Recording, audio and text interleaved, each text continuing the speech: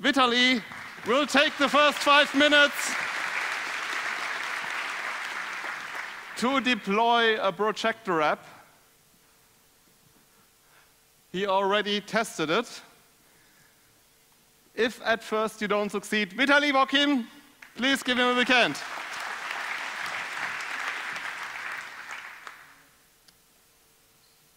Hi, everybody. My name is Vitaly Vokhmin, and I'm a software engineer at CloudLog. Uh, but in my spare time, I like, I like to hack things together and to, to try new technologies, to, to build some applications. And I really love Docker for this. So I like to Dockerize my applications, and at some point of time, you usually will, well, you usually want to deploy your application somewhere. And Docker, it's not only about Docker engine, it's not only about running the, the containers. Docker also comes with a bunch of few nice and handy tools. For example, Docker Compose, where you can declare your, define your application in a simple YAML file. Uh, like there is a database, there is a Redis, there is my application, and it just runs all these services. One, another handy tool is Docker machine. So Docker, Docker machine is an interesting tool to orchestrate, uh, to, for orchestration and managing uh, your nodes. So it can also, it, it can create uh, Amazon EC2 instances, it can create DigitalOcean droplets, VirtualBox uh, machines, and so on. Uh, but what do you do next? So when you create a new instance, you usually want to provision it somehow, like install some tools like HTOP or something. You may also want to, uh, for example, configure your firewall. And th there is a handy technology for this. It's called Cloud Init. And in the documentation, they say that Cloud Init is a de facto multi-distribution package that handles early initialization of cloud instance.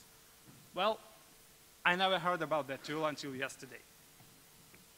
Anyways, uh, Cloud Init allows you to define a simple cloud config YAML file where you say, okay, I want to install the HTOP, I want to, to upload this script and execute that script. I, I, want to, it allows you to add users to the system, uh, to add groups, to define which users uh, are participants of which groups and stuff like that.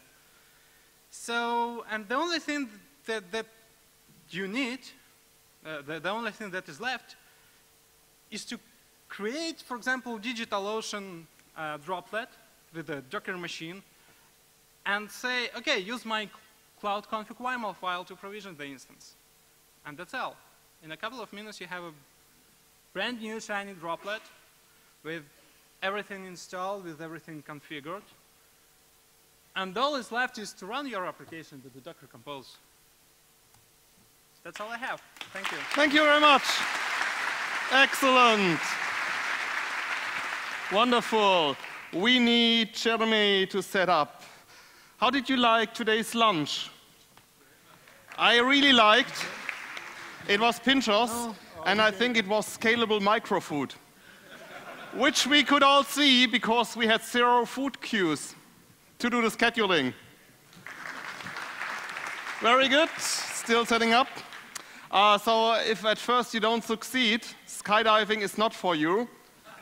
also, lightning talks is not for you today because we have to be very quick and very thorough with the projector. So give a big hand to Jenny.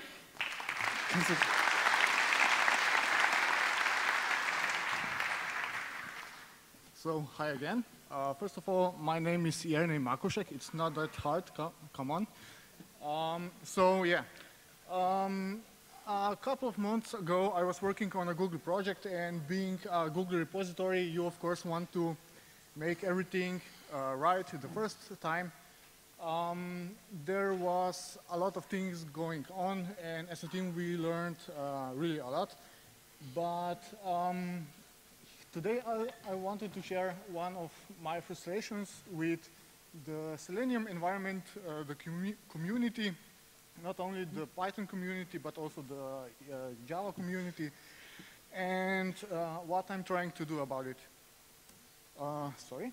Okay. So, um, as someone that is, uh, okay, so the task was to uh, write end-to-end -end tests, and Selenium seemed like a good tool for that. and um, when you're writing tests, there are a lot of different problems you have to solve. And one of them is that things are changing all of the time. Um, so there are cases where your front-end engineer is changing uh, uh, um, a component for various reasons. And of course, uh, the, once it is changed, the test will fail. And because the tests are failing, you can't merge things and so on. Um, and there are a lot of different problems uh, or other problems that you have also uh, that you have to solve. Uh, for example, um, single page applications are popular lately, so uh, you have to model that somehow. Uh, there are good practices like page uh, object models and so on. and yeah, once you get all that knowledge and you know the good patterns, there are still uh, exciting acrobatics you have to master.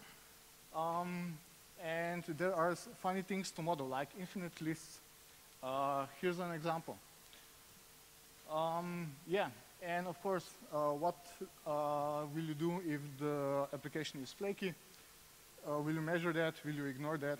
So, yeah. And once you get to model the page, you have to, of course, uh, structure the test as good as possible. And one of the steps are to model the elements themselves. And on the left side are the examples, and on the right side is the code uh, that actually works. Um, so you start with simple things like that. But the problem with that is that you can't find uh, reusable components on the web anywhere. At least I didn't find it. So I started to write a library and I'm planning to publish it. Um, and so as said, simple things like that uh, are not a, not a big problem, although they take like half an hour to implement, but uh, it gets interesting. So um, imagine you have to model like um, a text box where you have to filter a string and uh, you have auto-completion and um, you have to, once you uh, enter the string, you have to uh, select uh, one of the members. Not so trivial anymore. And it gets more interesting. So here we have a rich text editor, because why not? Um, and here you actually have to play with uh, iframes, uh, which is pretty interesting with Selenium. Um, yeah, so you end up with uh, models like that. Here uh, on the left side is a model for date picker, which depending on uh, your front-end uh, engineer, who is using either um, material UI, uh, React components, or uh, whatever, might be trivial to implement or not. But in any case, you have to do it uh, because there isn't a library for models um, anywhere. Um, yeah, so a bit more things. Um, so to, some of the uh, models require really uh, a lot of logic. For example, uh, you can select something only when it is click clickable, when Selenium signal uh, gives a signal that you can actually, or the user can actually click on it. So you end up not only with uh, a library for models, but also for uh, interesting acrobatics with Selenium. Um, this one in particular is very useful useful. And it took really some time to get to this solution. Okay, five more seconds. So that's the future where we want to go, have models for all things. And here it will be um, published. Thanks. Thank you very much.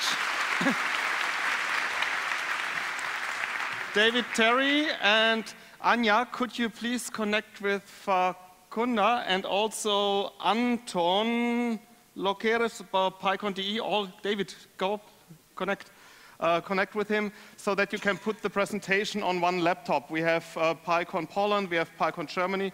Terry, set up. He's going back and back. Go up, do it. Do you know Rick Astley has a very good collection of Pixar movies, and he's very generous in lending them, except one. He will never give you up. Okay. Model-based testing with GraphWalker. David Terry, big hand.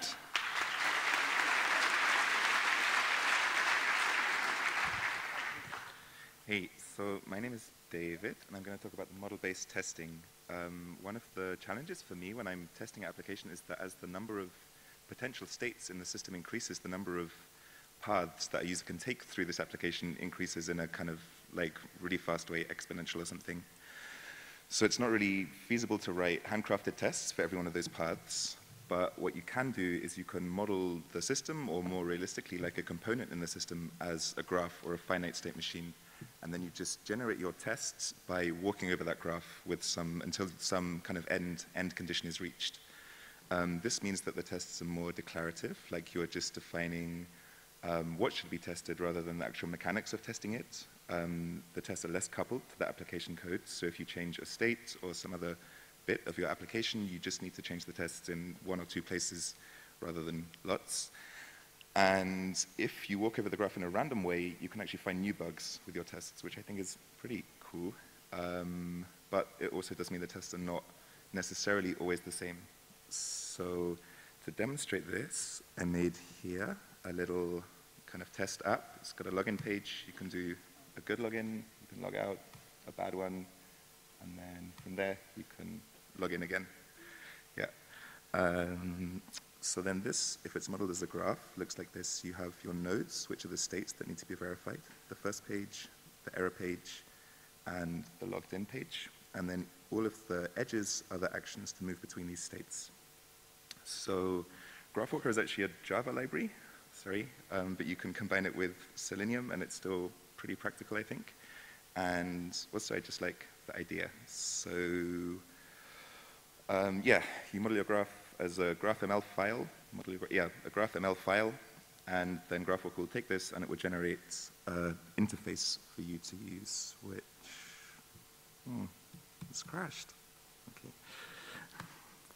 Which looks like this. You have um, just a method for every edge and a method for every vertex. And then when you want, you can see it here. When you want to write the tests, you just override each of these methods. So here, this is just Selenium code for selecting an element and clicking on it, and down here, um, selecting an element and asserting that the text is um, a certain value. And then, when you run the tests, it looks like this.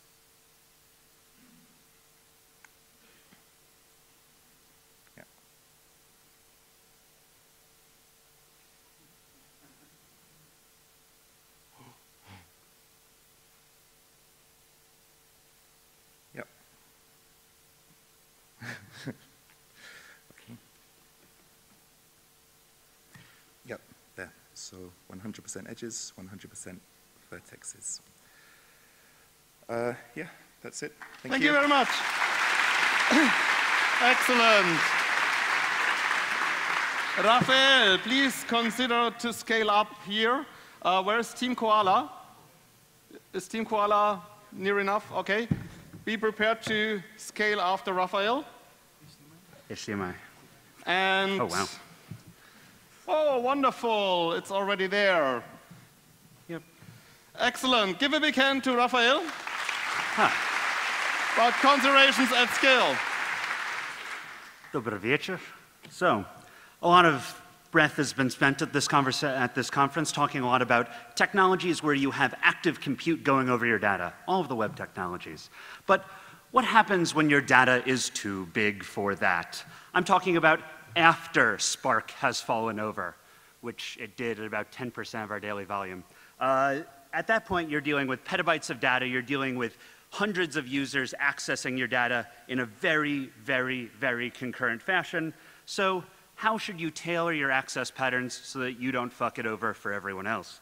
Um, Based on some work by Robert Grossman at the University of Chicago, we've come up with a basic idea of what a scalable algorithm looks like. If you have X amount of data and you have X amount of compute resources, it should take that much time. But if you double your data and double your compute resources, time should be invariant. That is a data scale, that is a data scalable algorithm. It will work over any size of data. If the amount of time goes up, you should refactor your algorithm or buy a Cray. And if the time goes down, I really wonder what you're doing. Now, scheduling the work. If you're, do, if you're working with large scale clusters like at the national labs or at big companies, you often have a scheduler to help spread the load over thousands of PCs. And when you're working with those, there are a few things you should do to be a nice person. First of all, if the time that your job takes is less than the time it takes to schedule your job, you are doing something wrong. Uh, I cannot express to you how many times I see people who have jobs that run at a tenth of a second, and yet it takes two tenths of a second to schedule the job. If you are never actually filling any of your nodes, you should think about batching things differently. Speaking of batching, most scheduling systems offer ways to take several jobs that are the same type with slightly different input parameters and simply pass in the job once and then an array or whatever else to pass into the job many, many, many times for all of its instances. This will reduce scheduler overhead.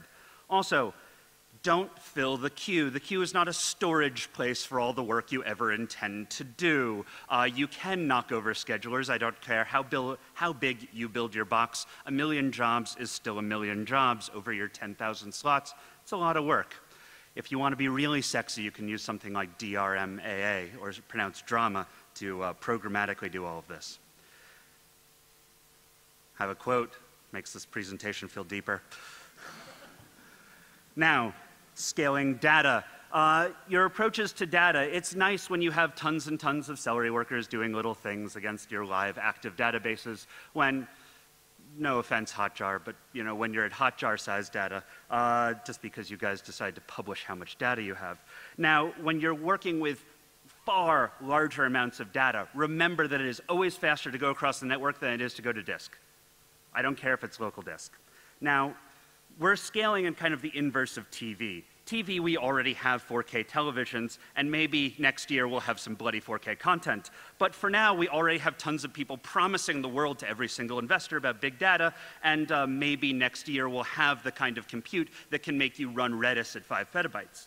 But until we do, remember, you're going to be using a file system. And when you use file systems, you want to be moving data and not metadata. Sorry, Hansel dude, that's not going to work at scale. And so when you do this, you will fuck yourself over on metadata operations. There's no way GPFS scales this. You can try this with object stores, but you're just moving stuff that doesn't matter to what you actually want to be doing.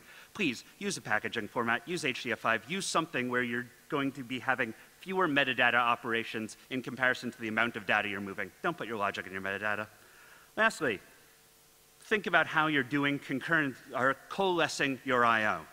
You can read, read into RAM somewhere on the network push it around, do the work with MPI ranks, great way to do this. Um, other sorts of multiprocessing, there's all sorts of ways to do this. Um, we did find that when we tried to run with all of our data at scale over Spark, 95% of it was pickling. There are better ways to do that, but you know, figure out what works well for your data, and then bring it all back and write it once. That way, you coalesce I.O., you use I.O. that is large enough to make sense. Most, blo most blocks on devices are 4 megs, so if you're doing 4 kilobyte I.O., yeah, think about it. And uh, you will be a much better grid user. So thank you very much. I'm 27. I started on Fortran, and it's great to be on Python. Very good. Team Coala. Thank you very much, Raphael. Our next speaker will be Team Coala. Please set up. Um, we have three conference announcements here. Uh, Anya, Anton, and Facundo, so we blocked you, clustered you together, and you'll get six minutes. You can fight with each other who will get how many minutes. I was told on the Telegram channel that was possible. What? You want sound. Sound. Uh, there is a plug-in for sound if you still have this. Yeah, I have it. Thanks. Very good. That will be harder if it's cancelled and we have to go via USB-C. We can't hear anything though. Oh, thanks. All right, then okay. I'm ready. You good? Okay. So, give a hand to Team Coala. Coala.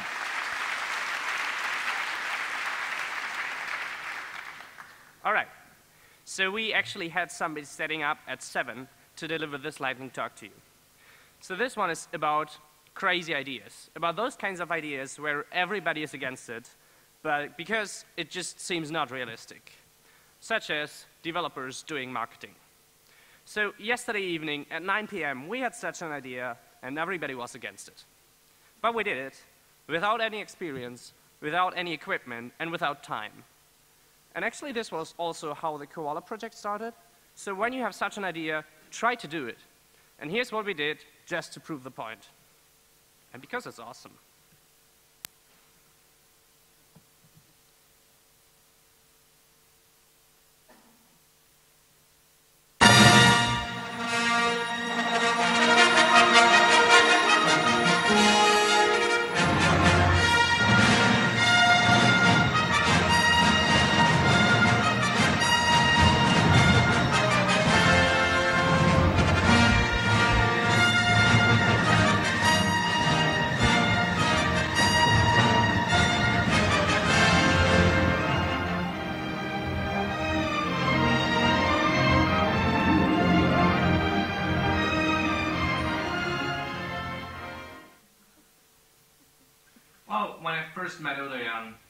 Coding style was really bad. Uh, and when I say bad, I mean like really bad. Well, I guess at some point he just couldn't stand it anymore. Oh fuck! Yeah, he was really pissed. But little did he know, but we were working on a tool that would change his life forever.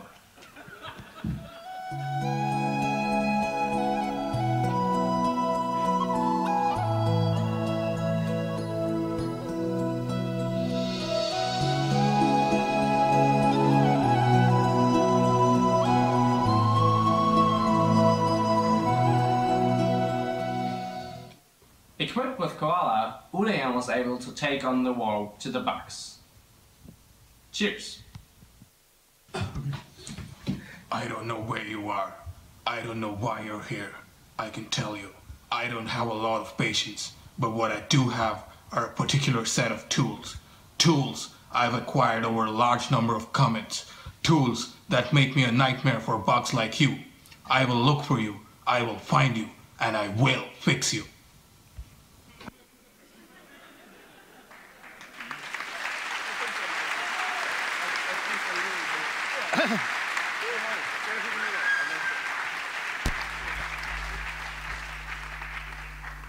Thank you very much. Are you please turn up the sound, turn off the sound, turn up the beat. Please, the three, and I will set uh, up the timer to six minutes. No. What? Why eight? Yes, three times two is six. Three is nine. Uh, well, We, we have three times two. We have two minutes per conference. And we have Armin Rigo, who has a I'm not doctorate talking in about the conference. Huh? I'm not talking about the conference. PyCon Argentina. No, no. PyCon Argentina, Facundo Bas- Batista? Python Argentina. No, Ah, not Python. Wonderful. So you indeed have nine minutes. Excellent. Facundo Batista, Python Argentina. I go first. Ha! and he cheated. Now it's Py- okay. Give a big hand to Facundo. Hola, hola. This is working. It's not working. Hola, yeah. Hola. So Python Argentina, right? So we I, we presented part of these previous years. We you kind of know what we do. We just try to communicate everybody in the country to be the central point of reference. Everybody trying to find what Python is. Try to contact other Python developers to have code peers or to hire people or to sue people or whatever. I mean, this is, if you pronounce Python in Argentina, the idea is for you to find that what you need. So We have a big community. We say that in Argentina, Python is about the people. We have a mailing list with a lot of people that luckily it doesn't have, have a very good nice, uh, noise information ratio. We have a, a channel in Freenode that we call the channel of love, not because we are kind, we are kind people, but also because PR in Hindi means love, so th that gives us funny situations. We have a, a, web portal with the standard things, show board, etc. And we have the official tutorials for Python 2.7, 3.5, and Django translated to Spanish, published in HTML, PDF, and some, uh, sometimes we print them to, to distribute to people, which is very nice.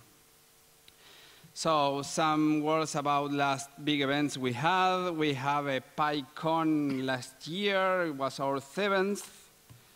This is a standard conference, people watching, people talking, people talking, people talking, people in the high, in the halls. We also have a PyCamp. This is more fun. It's, we have this ninth this year. This is for a lot of well, kind of 30 people going to somewhere just to code for four days, code, code, code, people coding, people coding, people designing stuff, people talking about the design, people also having meetings. We have Python Argentina meetings there with, of course, wine, and with, of course, asado, people lunching together. That's a PyCamp. Nice ways, nice places to take a walk and of course, learning how to fight for real. what we will do next? Well, we have a PyCon Argentina this year in November in Bahia Blanca. It's a very nice place. You can go if you if you have a Span if you know Spanish, you will enjoy it a lot. If you don't know Spanish, you will learn. So we will have a PyCamp next year. We still didn't planify, but it's one of the best events of the year, so we will have a PyCamp. And we are finishing in the following months uh, the non-profit, so we will become an official legal entity that the idea is just to help the community to uh, handle money, etc., etc., etc. So thank you very much. Thank you, Professor PyCon.de, so, please. Oh, or PyCon Poland. okay, now Anya will talk about PyCon Poland, and I will get down the time to two minutes. Okay. Give a big hand.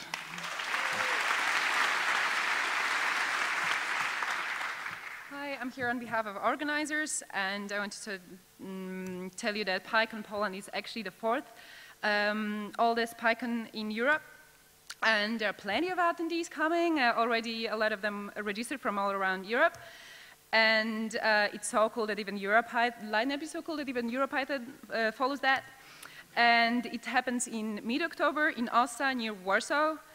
Uh, it's, uh, everyone is, uh, um, gets an accommodation in the same hotel, surrounded by forest. It's really lovely there, but worry not about getting there because there are going to be conference bus transfers from Warsaw, so only worry about getting to Warsaw, which is not that hard, I guess.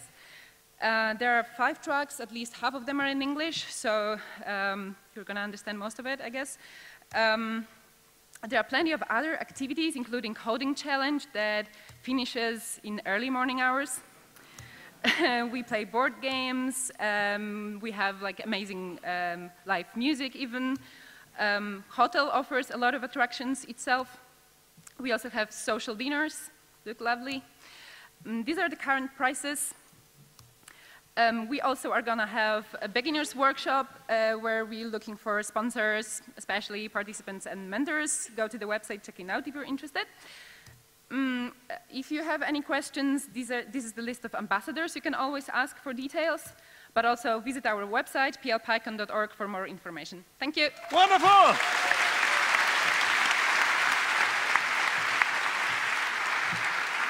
Excellent. One minute and 30 seconds. That's a new record for a conference announcement. Great. Now the Germans will prove that they're even more efficient. Anton. Hi, everyone. Hi, guys. It's really great to see you here. Thanks for making it through the five days of intense talks and still attending this one. I will not take much of your time. I'll have another record on the Lightning Talks, I hope. So, as you might guess already, I'm here to bring one more awesome event to the Python universe. It's PyCon DE, and uh, it will be held on the last uh, weekend of October. It's uh, Friday, Saturday, Sunday. Friday would be a workshop day and sprint day, and Saturday, Sunday would be talks. We'll have three tracks. We'll have a German track, English track, and we're working on a business track.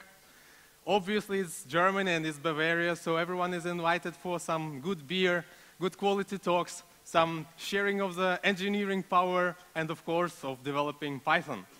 So guys, uh, I guess I would contribute uh, last few seconds to just uh, reminding that our community is awesome, generally. You see this conference, how well it's organized. It sets quite high standards for doing other conferences, so we are kind of under pressure now. But I think my last five seconds worth a bit of applause for EuroPython organizers.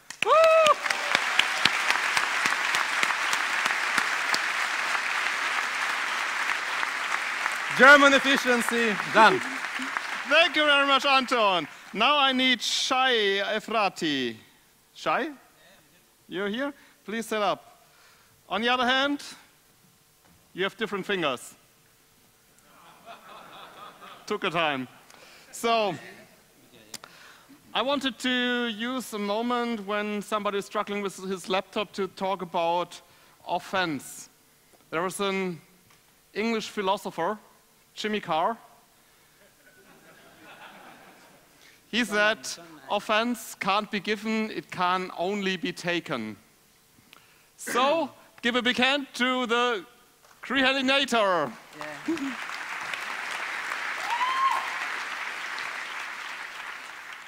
so I'm Shai, and I'm from Israel, so we don't say Krihelinator, we say Krihelinator.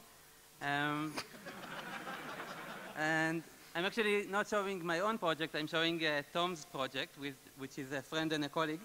And um, this project is already live, and I will start talking about it now. So, GitHub Stars, um, do you use it? Yes, you use it. Do you use it for bookmarks, or do you use it to show appreciation to other people? Both. Okay. But are they useful as a measurement tool for uh, other people's projects, if they are good or not? Yes? I don't know. Okay, so I had a discussion with Tom. This is Tom. And I had a discussion with him, and I asked him, how come Meteor has more stars than uh, Django, or Flask more than Django? Like, what kind of measurement tool is it? And we asked uh, which is this guy, and Meir is a really professional uh, developer at our company, and he said, I don't use stars at all. And we asked him, so what do you use? And he said, I use uh, pull requests, and I use GitHub issues, and I use, um, uh, yeah, a number of commits, a number of contributors. So, yeah, just do that. So, okay, GitHub, GitHub trending. Okay, GitHub trending. We all know that, we all know it and we saw the stars, and it's only rank, ranked by the stars, and it's not a good uh, way of measuring uh, project uh, quality. So Tom created this project, which called the Krihelinator. And the Krihelinator is measuring uh, projects by their um, uh, like real quality, like number of contributors, number of commits, number of uh, merged pull requests, proposed pull requests, closed issues, and known new issues, sorry. And unfortunately, or fortunately, it is written in Elixir and not in Python, because uh, he really likes to learn new technologies. If you want to know how the measurement is being, is being done right now, so these are the factors. It's a bit random. We might change it in the future. If you have any uh, uh, suggestions, you can put it on the GitHub uh, uh, project, which is here. And, opa, sorry. Yeah? So about the technology of the project, it's uh, scraping the uh, GitHub uh, website every six hours. It takes um, random projects and it compares them to the 500 uh, good projects that are already in the database. And if they are better, it replaces them. And there are uh, 16 scrapers that are doing the job. Because it's Elixir, it, it uses the like uh, high efficiency, of, high efficiency of the language. And actually, that's it. Thank you. Thank you very much. Thank you very much, Shai. Lars Claussen. Lars, you're already up here. That, that's good. That's excellent.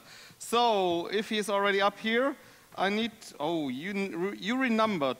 Does anybody remember the command renumber? Nobody developed on Commodore 64? Anyway, Lars Claussen about live hydrological modeling with 3Di. Give him the hand.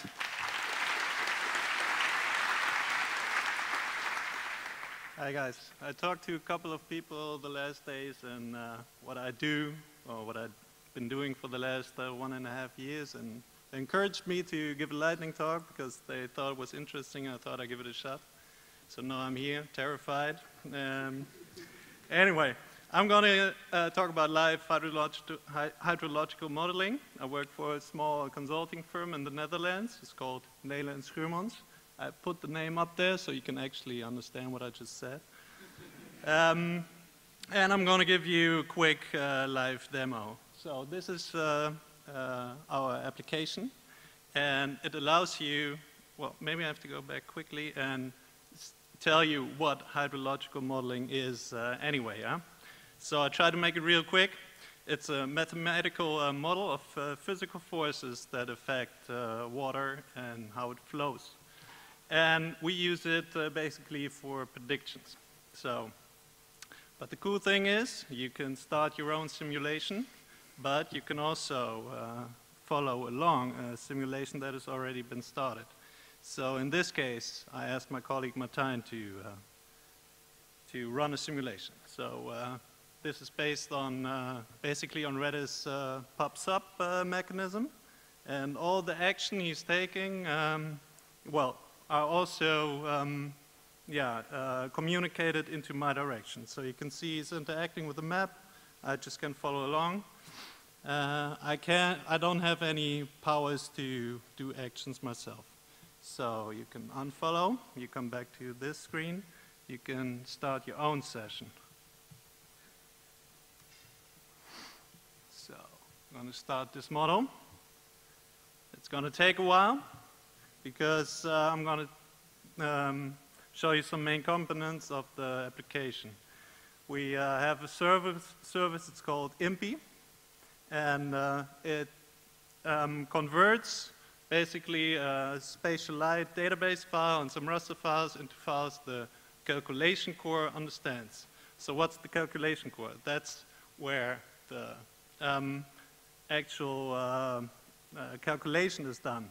So it's called 3Di Core, and it's written in Fortran. So I think today is a good day to give this presentation anyway because uh, of the talk keynote uh, this morning, because, well, our application actually is a case where web development and uh, uh scientific um, coding comes together. So uh, we have a machine manager. I just, when I uh, started a simulation, I did a call to the machine manager and uh, that service is responsible for starting, killing, and running Docker containers. So we also have a socket server for more static content. And we have the Docker container that, um, yeah, that has, uh, that is an isolated environment for the calculation core actually. We also have a web map server that serves all the, um, all the um, well, the, the, the, the, the web map um, layers like rasters and vector data. And all in Python. Of course not, but uh, first, um, let me uh, first give you, um, see, give you impression like what you can do. Because on the background, well, with the play button, you can start the simulation. So you see uh, some elements uh, start to respond to it. You see uh, pumps that are pumping water through the system. You see water flowing, that are the little uh, uh, balls. But you can also interactively uh, influence the modeling. So you can, for example, uh, put some constant rain intensity onto, into the simulation. You can ask for uh, historical data, and uh, well, we have some predefined uh, rain um, events that occur so and so often within, I don't know, a period of time. And that is being translated live uh, into a NumPy array, which is then passed on to the calculation core that does all the equations. Um, well, it's not all of Python, but our stack is, uh, well, consists, it's, an, it's not complete, but we use a lot of Django, GeoDjango, uh, ZMQ, Redis um, for caching and the PubSub, uh, Angular, and Leaflet. Thank you very much. Thank you. Excellent. I need Leonardo Santagada to come on the stage real quick. I need the lady or the man who proposed to talk about how to scale Python for Excel users and who can't afford a name to come to the stage to be prepared. I need Hugo Herter. You, was it you with the Excel users? Mm-hmm. Excellent, that's Fabio. And ah, Hugo Herter, just as a backup. Where is Hugo? Okay, be prepared after Fabio. Maybe we can get you. So, give a big hand to Leonardo about Uh, it's about uh, xonsh. the- Xonsh, ah. Yeah, I'll just get to that. So someone told me it's better to have code on slide, so I did. Uh, it's only code now. So for I guess 10, 20 years of my life, I've been doing Bash as my shell, and I've been quite happy. And then I'll be doing like this. I'm Santagada. That's my last name. And then I see this kind of code and I have to fix it. And then I get crazy and I say, no, let's do something better. So let me get out of this. Okay, so I switched to Z Shell, which is much, much better. Uh, and oh my Z Shell, if you're still using it, it's good. Uh, it does a lot of things like a cool prompt. If I go to something like this, it'll show me some, some stuff. So that's good, but when I have to fix it and I have made patches for, for it, it's terrible again. And then I said, no, I need something better, so let me get out of this. And I moved to Fish. Fish is an amazing shell. Uh, yeah, it's going to get better, so don't, don't clap now. It's, it's even better. So Fish is nice, but I got tired of fixing the shell I'm in every time in a different syntax and with little different things. And I was like, no, I'm not fixing Fish. So I went back to Z shell for a while, but now I got something better. So I'm like, ah, ah. oh, one of the nice things is that Fish has live syntax highlighting. So you're typing this, it knows it's a command, and if you put an if, it'll know. Uh, a string, it knows it's a string, so nice, but nah. Okay.